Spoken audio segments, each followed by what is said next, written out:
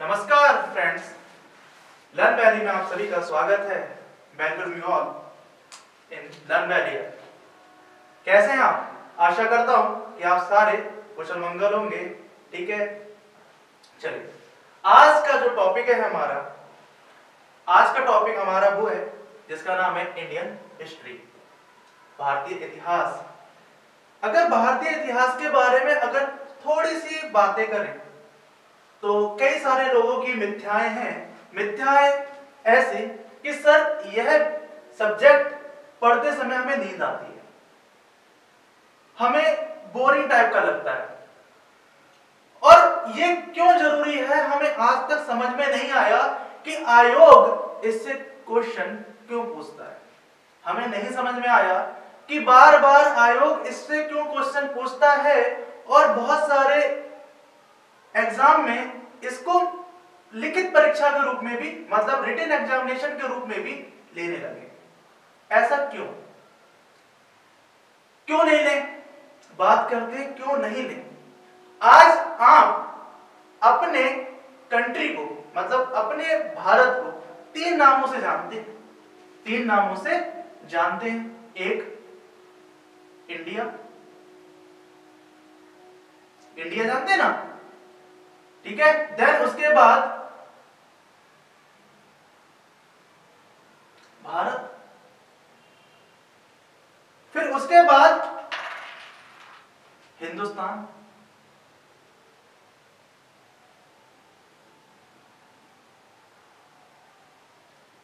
ये तीन शब्द एक ही देश के कैसे आए? ये तीन शब्द एक ही देश के कैसे आए? हम थोड़ा सा समझते हैं।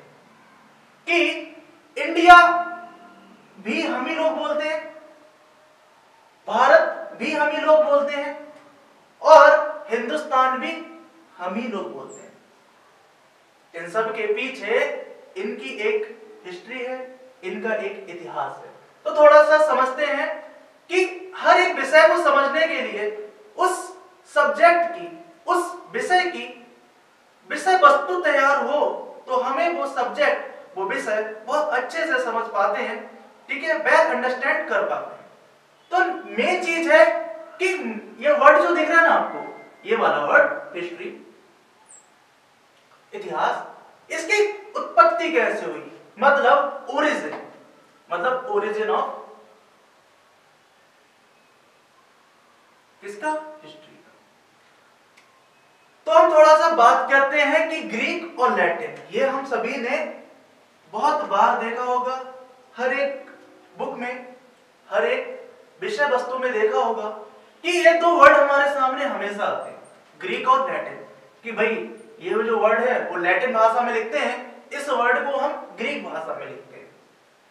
तो ग्रीक भाषा में इन्हें हिस्टोरिया बोला। ग्रीक भाषा में ग्रीक के लोगों ने इस वर्ड इस सब्जेक्ट को हिस्टोरिया बोला।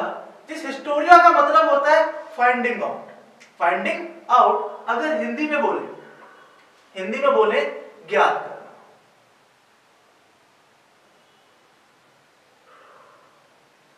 अब आपको यह पता है कि जैसे जैसे हम पाथ को चलते जाते हैं, हमारे रूट्स भी वैसे वैसे ही बदलते रहते हैं। ये तो हमें पता है। अब बात करते हैं, ये तो ग्रीक की बात है। बात करते हैं लैटिन में तो लैटिन में बोलते हैं हिस्ट्री। जिसे हम आज भी बोलते हैं तो मैं कह सकता हूँ, जो हिस्ट्री शब्द है, वो एक लैटिन भाषा का शब्द है। जिसका मतलब यह होता है नो अबाउट पास्ट मतलब अपने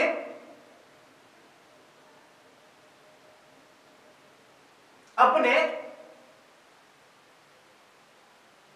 पास्ट को क्या बोलेंगे बच्चों? प्यारे बच्चों, क्या बोलेंगे पास्ट को? अपने भूतपूर्व जो चीज़ें हुई हैं, अपने भूतपूर्व घटनाओं को जानना। जानना। समझ में आ रहा होगा बच्चों, प्यारे बच्चों, थोड़ा बहुत समझते हैं और आगे। अगर हिंदी में हमने ये तो देख लिया कि नो अबाउट पास्ट को अगर देखें तो थोड़ा सा और देखते हैं कि इसका और एक शाब्दिक अर्थ होता है। मतलब लिटिल मीनिंग अगर हम देखें तो यह निश्चय था। यह निश्चय था क्योंकि आरंभ में जब इतिहास स्टार्ट हुआ हिस्ट्री की गणना स्टार्ट हुई तो इसे दो चीज़ों में, दो भाषाओं में यूज़ होने लगा, एक पद में और एक गद में। प्यारे बच्चों कमेंट सेक्शन में लिख के बताएँगे कि पद और गद में क्या अंतर है। और इस पद और गद में हम वीर गाथा, आप समझ रहे होंगे, वीर गाथा मतलब ब्रेव हिस्ट्री यानी कि ब्रेव स्टोरी जैसे हम बहुत उत्सुक होते हैं ना, हम जाते हैं, नानी नानी, हमें कहानियाँ सुनाओ। तो नानी भी क्या करती है, कोई एक राजा, रानी की एक कहानी सुनाती है और उसको हम इमेजिन करते हैं और उसी की तरह से अपने आप को ढालने की कोशिश करते हैं। सेम वैसे ही यहाँ पर वीर गाथा है, वो भी हमें एक ऐसी साहसी मतलब एक ब्रेव स्टोरी सुनाती है जिससे हमारा जो व्यक्तित्व है, हमारी जो पर्सनालिटी है, वो वैसे ही उभर कर आए। चलिए, यहाँ तक तो हमें समझ में आ गया कि उत्सुकता हमें होती है हमेशा जानने की कि ऐसा क्यों हो रहा है। और ऐसा क्यों हो रहा है, यही बताता है इतिहास। अब क्यों बात करते हैं? अब इतिहास का जो विकास हुआ मतलब डेवलपमेंट डेवलपमेंट ठीक है? ये तीन वर्ड यानी कि शब्दों पे आधारित है। ये हमारे हमेशा दिमाग में, हमारे माइंड में हमेशा ये चीज़ें घर करके रहती हैं कि कैसे? हम यहाँ कैसे? यहाँ हम कब? और हम यहाँ क्यों? कैसे? कब और क्यों? प्यारे बच्चों, आती है कि नहीं आती है बातें? जैसे मैं थोड़ा सा एक एग्ज़ाम्पल बताता हूँ। एग्ज़ाम्पल के तौर पर हम देखें कि हमारे पिताजी मतलब हमारे फादर के फादर के फादर के फादर मतलब ये चैनल के बारे में हम हमेशा जानना चाहते हैं कि ये कौन है। हमारी हमेशा उत्सुकता होती है we are totally curious about it कि कौन है? मतलब हमारा वंश कहाँ से है, कैसे है? ये सारे जो वर्ड हैं, वही एक इतिहास को जनरेट करते हैं। मतलब बात समझ पा रहे होंगे मेरी बात। ठीक है? आगे देखते रहिए इस चीज़ को। कि कैसे, कब और क्यों इन चीज़ों पर ही आधारित होते हैं। थोड़ा सा और आगे चलते हैं। कि अब हमने ऐसा देखा कि हमारे अभी के जो सिस्टम है, जो हमारा तंत्र है, हमारा जो सिस्टम है, अब तो हम बहुत ज़्यादा मॉडर्न हो गए हैं और हम बहुत ज़्यादा कल्चर को फॉलो करने लगे बहुत ज़्यादा कल्चर को फॉलो करने लगे तो यहाँ पर दो चीज़ों की बात होती है कि एडमिनिस्ट्रेशन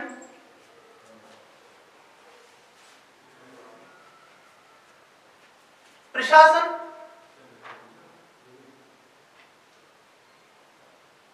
कि यहाँ पर प्रशासन क्यों आ गया? मतलब आज हमारे इर्द गिर्द देखे जाएँ तो हम बहुत सारे कानूनों से, बहुत रूल एंड रेगुलेशन से बंधे हुए हैं, ये हमारे सामने कैसे आ गए? हमने तो इनकी आशा भी नहीं की थी। फिर उसके बाद, दूसरी चीज़ देखते हैं एडमिनिस्ट्रेशन के बाद अगर बात करें तो दूसरा आता है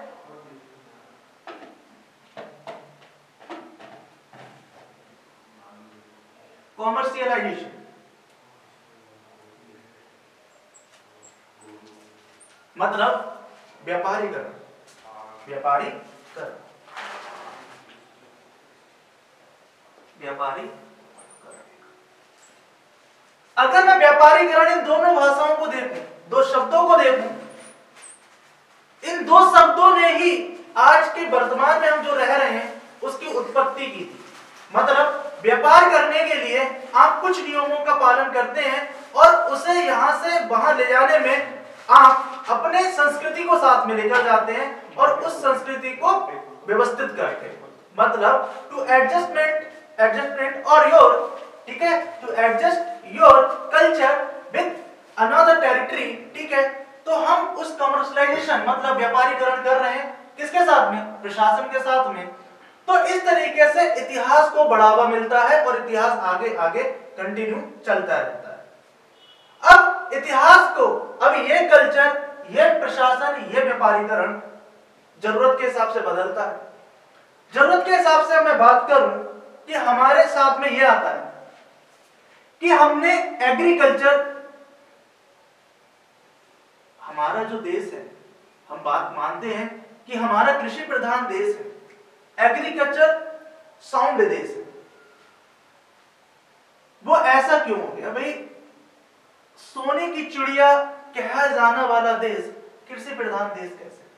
अगर मैं गोल्ड की बात करूँ तो वेल्थ में हम बहुत ज़्यादा थे और आज हम कृषि पर ये सारी जो भी बातें हैं, ये जो भी बातें हैं, वो सब हमें इतिहास के पन्नों में मिलती हैं। लर्न पहले आपको बताएगा क्यों और कैसे इतिहास के पन्नों में ये सारी बातें दर्ज हुई? और क्यों ज़रूरी हुआ इतिहास? और इन इतिहास के पन्नों को हम देखेंगे किस तरीके से? हम देखेंगे एरा के हिसाब से मतलब इनके समय अवधि के हिसाब से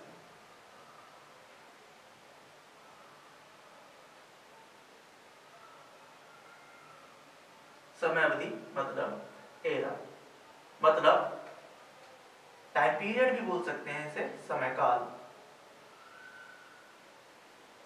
टाइम पीरियड टाइम पीरियड की अगर मैं बात करूँ तो टाइम पीरियड में आपने इसे तीन भागों में विभाजित किया। तीन भागों में विभाजित किया, प्यारे बच्चों, किस किसमें बात की? एक, प्राचीन भारत, जिसे एंशियंट एंशियंट इंडिया बोलते हैं। एंशियंट इंडिया फिर दूसरा काल जो आया, उसे हम बोलते हैं मिडेवल इंडिया। मतलब मध्यकालीन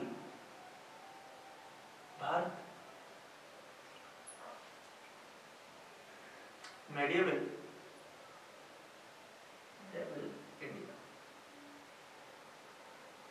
एंड देन उसके बाद हम जो देखते हैं, वो देखते हैं अपना आधुनिक इतिहास। मतलब आधुनिक भारत।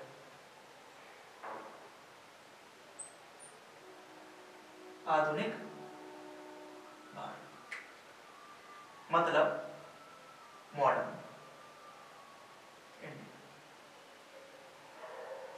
ये तीन विस्तृत जानकारियों के साथ इतिहास है। कह सकते हैं, अपने आप में खुद एक सब्जेक्ट है। खुद एक विषय वस्तु है, जो बताते हैं कि उस काल में, उस काल में क्या क्या हुआ था और हमारे सामने किस चीज़ की प्रस्तुतिकरण की जाती है। जैसे प्राचीन भारत की अगर बात करें, वैसे इसे हम बहुत थोड़ा सा डीप में देखेंगे और काफ़ी अच्छे से देखेंगे, लेकिन एक थोड़ा सा ओवरव्यू देखते हैं कि प्राचीन भारत में हमने चीज़ों को देखा कि वो चीज़ें हमारे पास आई कैसे। समझ गए? अब वो चीज़ें जब हमारे पास आ गई तो उन्हें हम एक स्थान से दूसरे स्थान तक ले गए। उनका हमने स्थानांतरण कराया। मतलब transformation one place to another place मतलब एक देश से दूसरे देश, हम आए। अपने कल्चर के साथ में हमने दूसरे कल्चर यानी दूसरे की संस्कृति को भी हमने समझा, परखा। वो हुआ हमारा मध्यकालीन भारत। मध्यकालीन भारत के बाद फिर हमने यह देखा आधुनिकीकरण कि अगर वो एक कल्चर से मतलब एक संस्कृति से दूसरे देश की संस्कृति में गए तो क्या हम उस देश में अपनी संस्कृति का उजागर कर सकते हैं? हम अपने कल्चरल कल्चर को डेवलप कर सकते हैं और कल्चर को डेवलप करना ही वहाँ का इतिहास बन जाता है। मतलब यह कहना हुआ मेरा कि उस देश का उत्पत्ति, उस देश की उत्पत्ति जो होती है, उसको हमने आधुनिक देखा लेकिन आधुनिक भारत के साथ में जब एक देश बन रहा होगा तो बहुत सारी दिक्कतों का सामना किया होगा। मतलब यह हुआ कि a country faces many hurdles ठीक है? तो इन सारी चीज़ों की जो गणना होती है, इन सारी चीज़ों की गणना होती है और हमारे सामने जो चीज़ें हैं, वो कैसे हैं? वैधानिक, वैध दस्तावेजों के साथ। मतलब वैलिड डॉक्यूमेंट हम प्राचीन भारत, मध्यकालीन भारत या आधुनिक भारत की बात करें तो ये सारे हमें मिलते हैं किसके रूप में? वैलिड डॉक्यूमेंट्स के रूप में।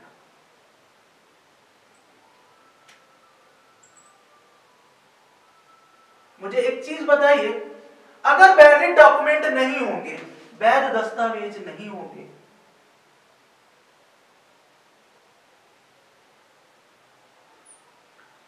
तब आप कैसे बोल सकते हो कि प्लासी का युद्ध कब हुआ था क्या आप या मैं उस युद्ध में गए थे?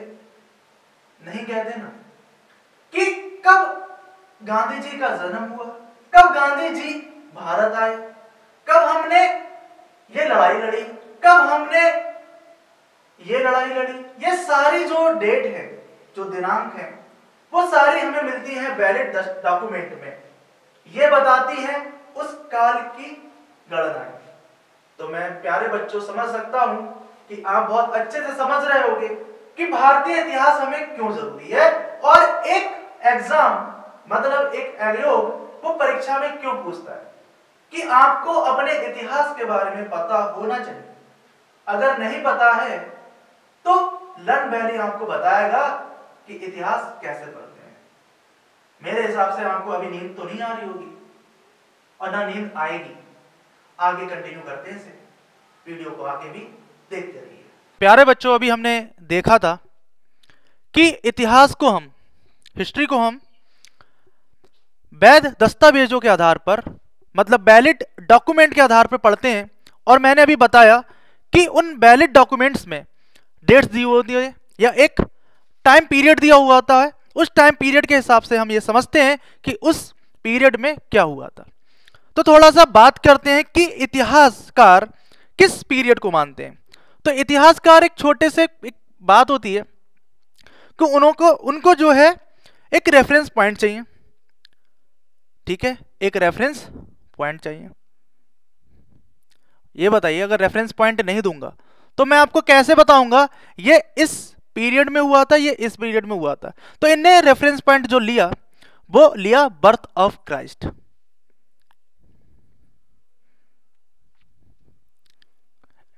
इतिहासकारों ने बर्थ ऑफ़ क्राइस्ट। और ये हम सभी जानते हैं कि जो ब्रिटिश गवर्नमेंट है मतलब जो ब्रिटिश साम्राज्य है, उसने अपना आधिपत्य विश्व में कई देशों पर अपना अधिकार जमाया और आज जो इतिहास की हम गणना पढ़ते हैं, वो ब्रिटिश विचारधाराओं के ऊपर हम करते हैं। तो इतिहास में अगर बर्थ से पहले बर्थ से पहले, क्राइस्ट के बर्थ से पहले, अगर हमने कोई भी काल को पढ़ा तो उसे हम कहते हैं बीसी प्यारे बच्चों, गलत मत करना बीसी इसका मतलब होता है बिफोर क्राइस्ट बिफोर क्राइस्ट मतलब आपने हिंदी में भी पढ़ा होगा। एक होगा ईसा पूर्व और दूसरा होगा ईसवी। तो इसे क्या बोलेंगे प्यारे बच्चों? ईसवी बोलेंगे या ईसा पूर्व? तो इसे बोलेंगे ईसा पूर्व। बहुत सही बच्चों।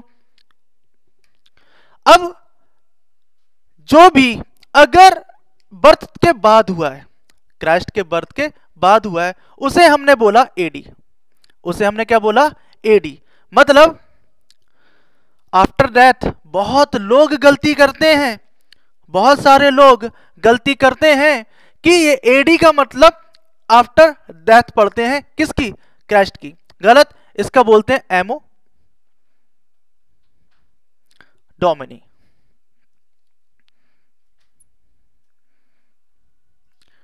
यह एक ग्रीक वर्ड है, जिसमें बोला गया है। क्या बोला गया है? कि ईसा मतलब ईसवी। तो हम इन दो आधारों पर इतिहास की गणना करते हैं। कैसे करते हैं? देखते हैं। पीरियोडाइजेशन मतलब पीरियोडाइजेशन मतलब कालिक गणना। कालिक गणना के हिसाब से बात करें तो यहाँ पर तीन काल आते हैं हमारे सामने मतलब कह सकते हैं तीन विषय वस्तु बार हमारे पास हैं सब्जेक्ट बाइट वाइज मतलब एक एंशियंट इंडिया प्राचीन भारत, जो 750 एडी तक था एडी अभी हम देखेंगे बीसी के बाद एडी भी आया होगा। इसका जो आखिरी राजा था लास्ट किंग वो था हर्षवर्धन। ये सारे लोग जानते हैं। देन उसके बाद आया था मिडिवल इंडिया जिसको हम बोलते हैं मध्यकालीन भारत, जो 750 एडी से लेके 750 एडी टू 1707 मतलब 1707 एडी तक मतलब ईसवी तक रहा।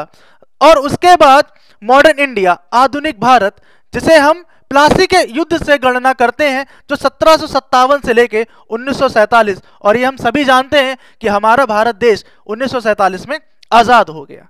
तो थोड़ी सी एक बात करते हैं, और यहाँ पे कंफ्यूज नहीं होना है, कि कोई भी, ये इसको मान लेते हैं ज़ीरो पॉइंट।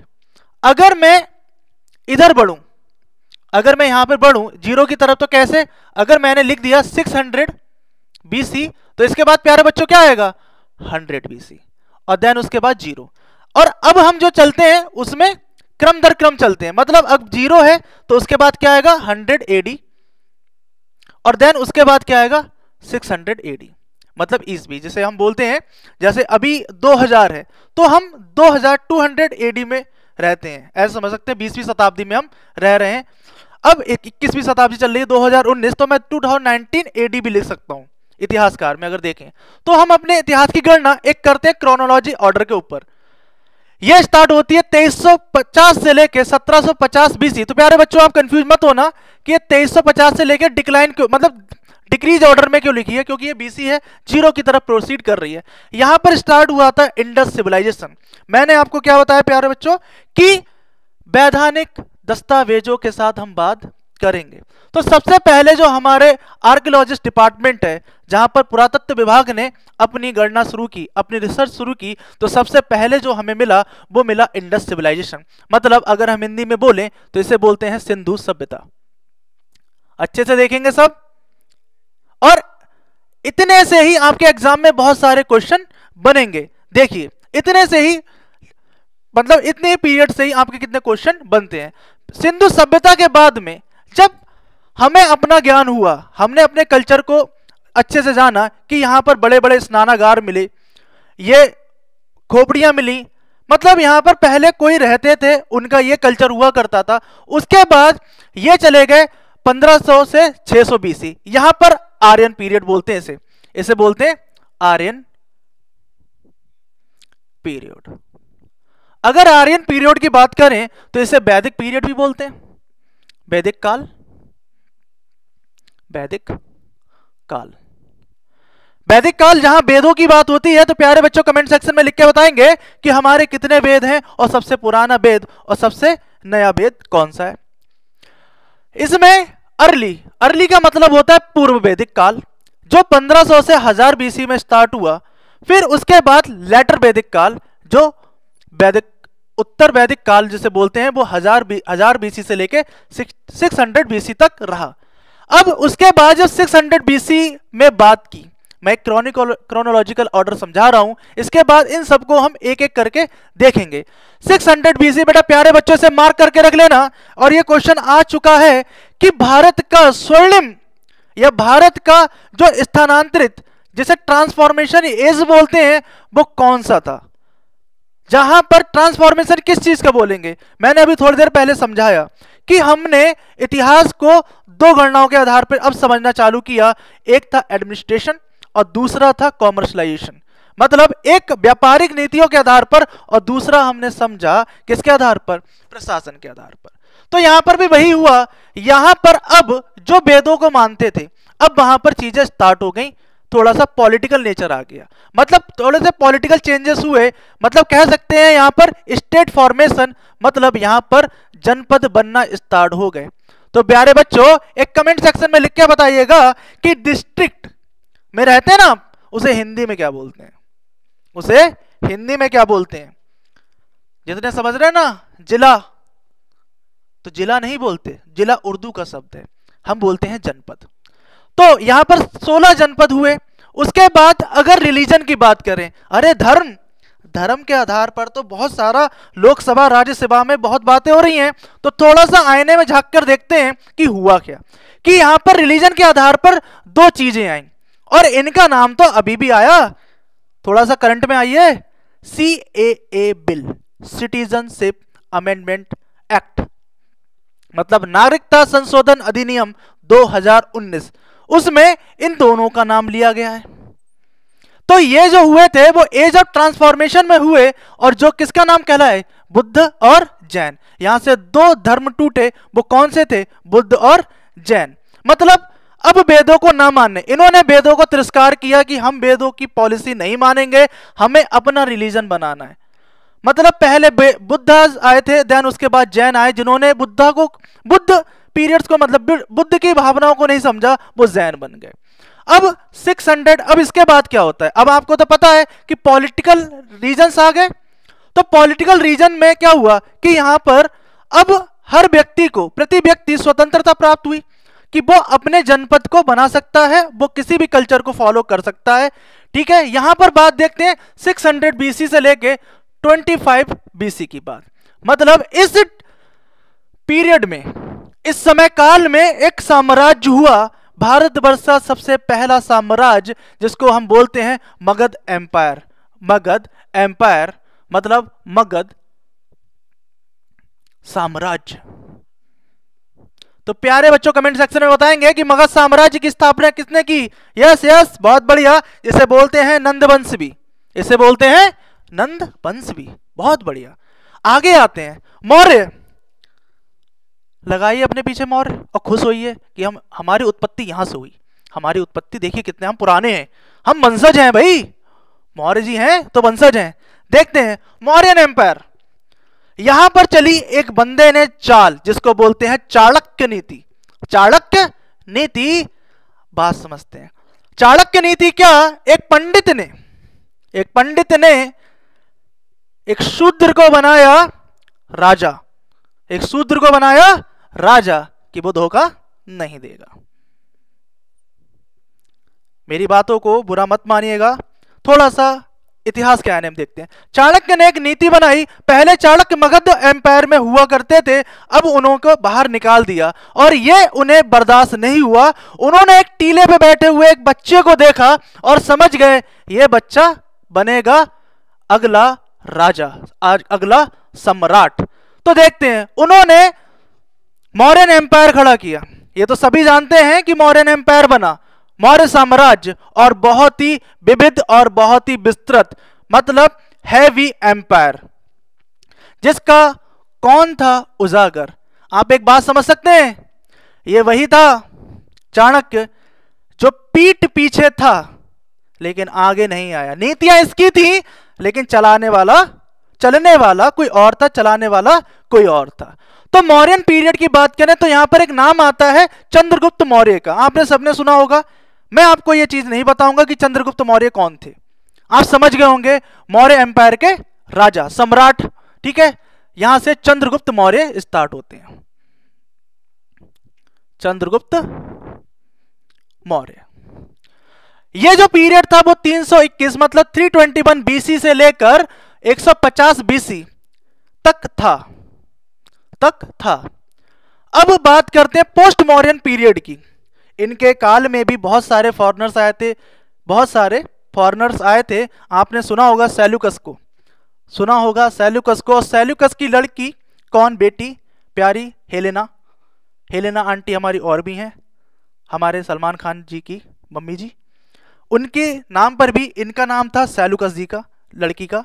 और बोती हेलेना उनकी शादी करी गई किसके साथ? चंद्रगुप्त मौर्य के साथ। वो एक नीति थी। वो एक नीति थी कि बाहर के लोग भारत में आए। फिर उसके बाद पोस्ट मौर्यन पीरियड हुआ। इनके जो बच्चे हुए, उनमें भी विवाद हुआ। भाई, क्यों नहीं होगा कि पहले से ही विवाद चालू हो गया था? पहले से पॉलिटिकल डाइवर्जेंस आ गए, अब क्यों नहीं आएँगे? तो यहाँ पर देखिए, यहाँ पर एक हुआ सम्राट अशोक। नाम से ही क्लियर है किंग अशोका एक छोटी सी बात देखते हैं कि चंद्रगुप्त मौर्य ने बुद्ध जैन धर्म को फॉलो किया।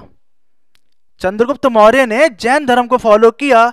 तो प्यारे बच्चों कमेंट सेक्शन में लिखाइए, बताइए कि सम्राट अशोक ने किस धर्म को फॉलो किया। मैं आपको एक चीज़ और बताता हूँ। सम्राट अशोक का एक बेटा था, जिसका नाम था बिंदुसार। उसने भी जैन धर्म को फॉलो नहीं किया। मतलब जैन धर्म का अनुसरण नहीं किया। उसने किसका किया? कमेंट सेक्शन में बताइए। थोड़ा सा इंटरेस्ट आ रहा है। अब तो नींद नहीं आ रही होगी इतिहास पढ़ने में। कैसे आएगी? लर्न वैली जो आ गया ना? अब, इसलिए। अब बात करते हैं किंग अशोका किंग अशोका तो समझ सकते हैं। इसकी बात बहुत है लोगों के जहन में कि किंग अशोका ने सौ लोगों को मार दिया। भाई, क्यों नहीं मारेगा? एक अकेलौता ही पूरे भारत वर्ष में राज, लेकिन एक ही चीज़ नहीं जीत पाया, जिसका नाम था कलिंग। बच्चों, प्यारे बच्चों, क्या बोलते हैं? कलिंग, जिसे उत्कल भी बोलते हैं और आज के टाइम पे उड़ीसा भी बोलते हैं। प्यारे बच्चों, क्या बोलते हैं? उड़ीसा। ये उसी रीजन को नहीं जीत पाया। और आपको पता होना चाहिए, प्यारे बच्चों, सारी लड़ाइयाँ तो एक ही वजह से हुई हैं। दिल। अशोक का दिल था वहाँ पे। समझ गए होंगे, प्यारे बच्चों? फिर वहाँ पर तो लड़ाइयाँ हुई, अशोक ने हार मानी और आपने इन्होंने धर्मतरण कर लिया और बुद्ध धर्म को फॉलो किया। देन उसके बाद अगर हम देखें कि उसके बाद जो आए, वो गुप्त डायनेस्टी आई, ये डिक्लाइन हुआ। मतलब ये 150 बीसी से लेकर 250 एडी तक चला। अरे वाह बीसी टू एडी मतलब यहाँ से यहाँ तक आ गए हम। ट्रांसफॉर्मेशन हो गया हमारा। कब हुआ? ये क्वेश्चन आ चुका है कि कब कब ईसा पूर्व ईसवी में कन्वर्ट हुआ। यह हुआ पोस्ट मौर्यन पीरियड मतलब उत्तर मौर्य काल में। देन उसके बाद गुप्त डायनेस्टी आई। गुप्तोत्तर काल, इसको हम स्वर्णिम काल बोलते हैं, जिस टाइम भारत को सोने की चिड़िया कहे जाने लगा।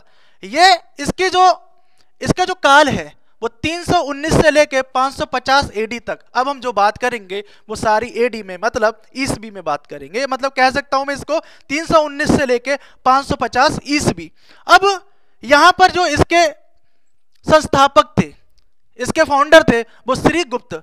बच्चों, बहुत प्यारे बच्चों, ये क्वेश्चन बहुत आता है कि गुप्त डायनेस्टी के कौन संस्थापक थे, कौन फाउंडर थे तो कौन थे प्यारे बच्चों? श्री गुप्त। देन उसके बाद जब ये डिक्लाइन हुआ तो यहाँ पर पोस्ट गुप्त पीरियड मतलब गुप्तोत्तर काल बना और गुप्तोत्तर काल 550 ईस्वी से लेके 750 ईस्वी तक बना। तब बेटा ये कन्नौज कहलाया। प्यारे बच्चों, थोड़ा सा ये बताइए, महाकालेश्वर मंदिर कहाँ पर है? प्यारे बच्चों, ये बताइए महाकालेश्वर मंदिर इस समय कहाँ पर है? उज्जैन।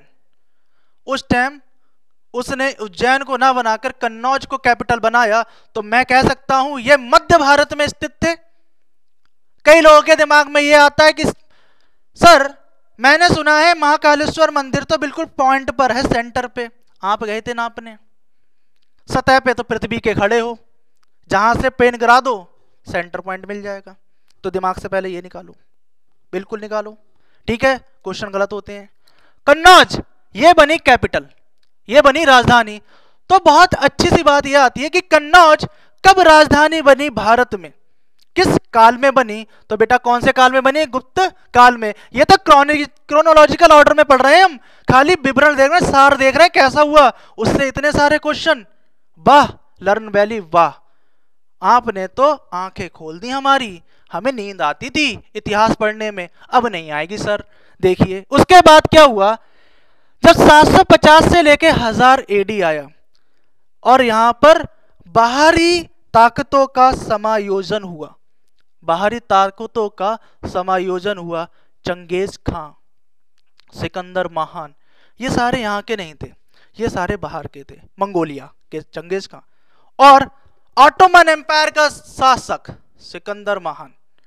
ये बहुत बड़े वर्चस्व में चल रहे थे और इनके सामने हमारा जो भारत देश था, वो बहुत छोटा सा टेरिटरी था इनके लिए।